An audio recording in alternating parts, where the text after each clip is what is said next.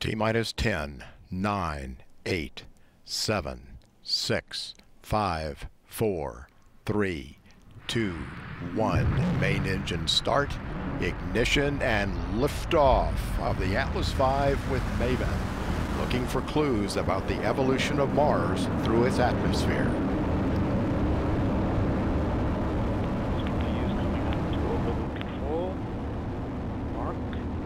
Everything looking good. Still at 100% rated thrust on the RD-180. Vehicle rates are looking good. We do have roll program in, right as expected. We are actively controlling mixture ratio. Valve position looks good. Thrust regulator valve position looks good. Speeds are good. And vehicle's operating as expected. Continue uh, down the center of the range track. Everything is looking good. We're now 1.6 nautical miles in altitude, 1.1 miles downrange, traveling at a little over 1,000 miles per hour.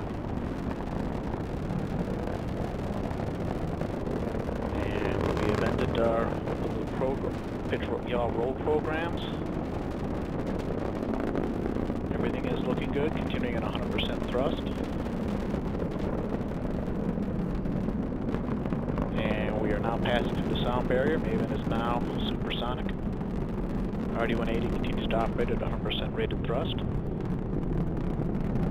We are about to pass through max Q. And vehicles passing through max Q. Rates look good. Engine continues to operate at 100%, and we have throttled down to 95% thrust, right on time. And we're now 10 nautical miles in altitude, 7.4 miles downrange, traveling at 2200 miles per hour.